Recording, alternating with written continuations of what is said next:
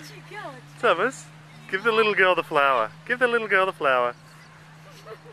That's what you do. That's what you do to little girls, okay? Oh. and he walks away. Uh, You're so cute. Not in the mouth. That's yuck. yeah, you're not supposed to eat it. You're just supposed to, you know, hold it and uh, Put it in a vase. put it in a vase.